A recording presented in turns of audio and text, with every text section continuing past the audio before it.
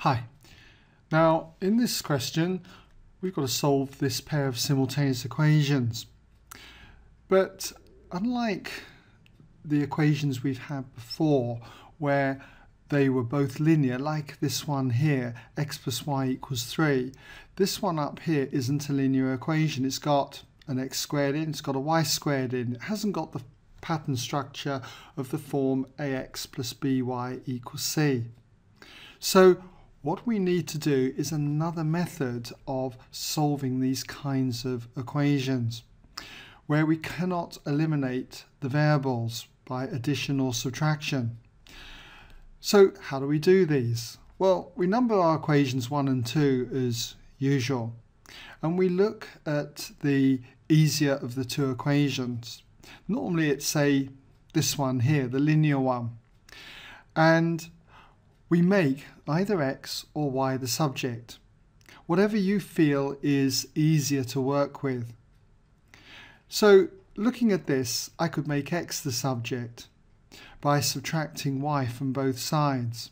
So I tell the reader what equation I'm going to be turning to, and in this example, it's from 2. So I'd write then from 2. From 2, I'm going to make x the subject. So therefore, x would equal 3 minus y. And I number this equation 3.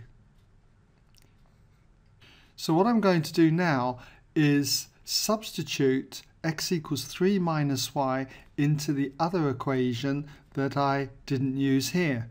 So I've used 2, so I must substitute x equals 3 minus y into equation 1.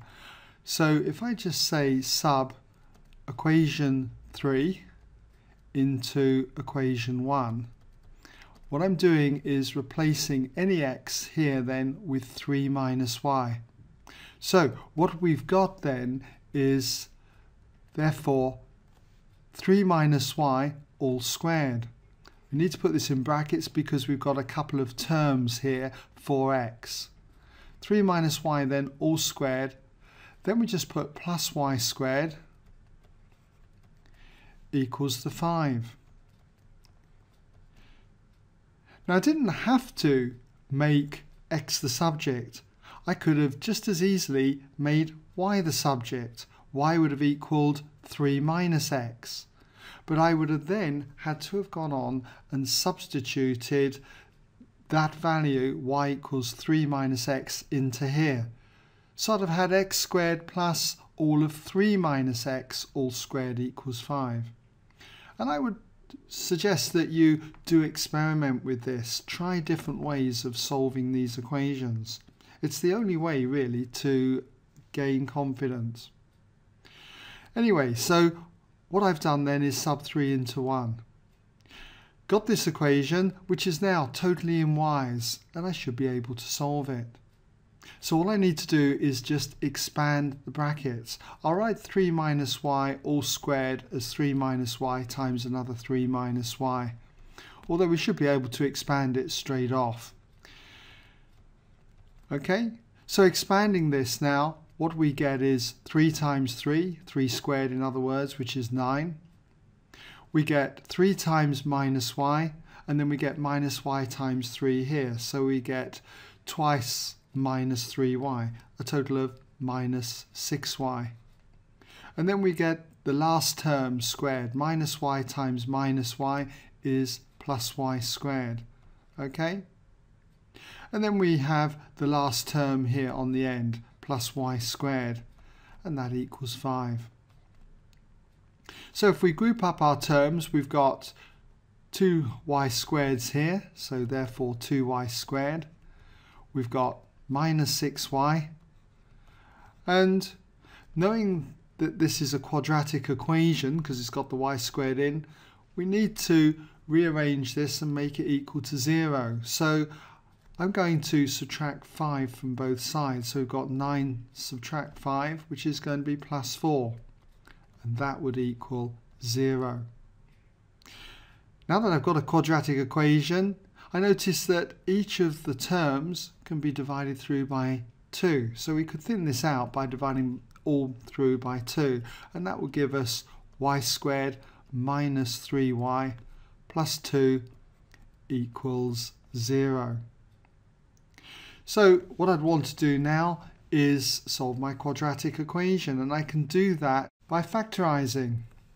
This factorises. If it didn't factorise I could use the quadratic formula but it does factorise into two factors here okay and it equals 0. Those two factors are going to be a y and a y and then it's going to be a minus 1 and a minus 2. If you check this out, you can see it expands out to y squared minus 3y plus 2.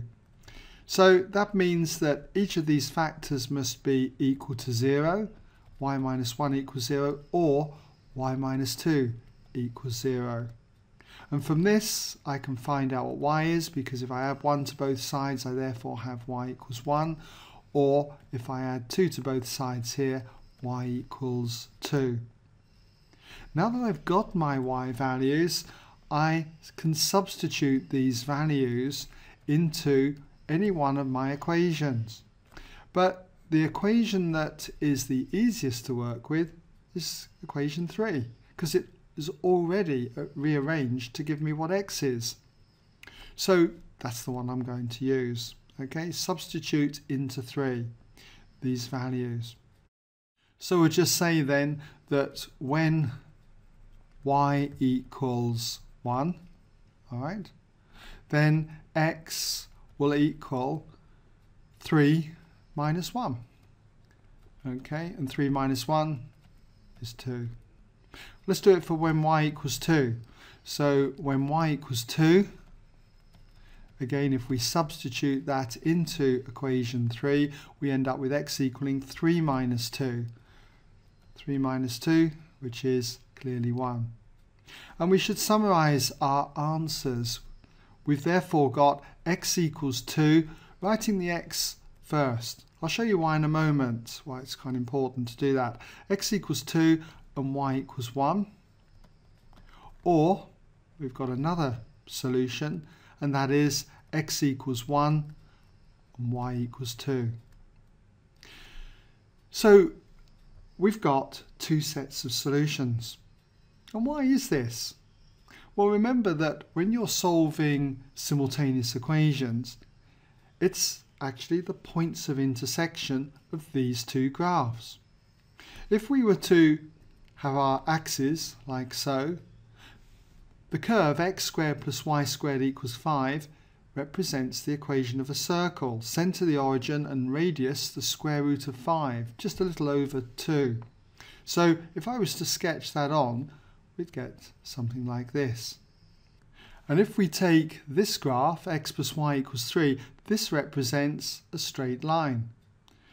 If you were to rearrange it, you've got y equals 3 minus x, which is a line with a gradient of minus 1 and it intersects the axes at 3, 0 and 0, 3. So it's going to be a line looking something like this, x plus y equals 3.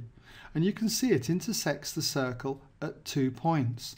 And those points of intersection are the solutions to our simultaneous equation. 1, 2 and 2, 1.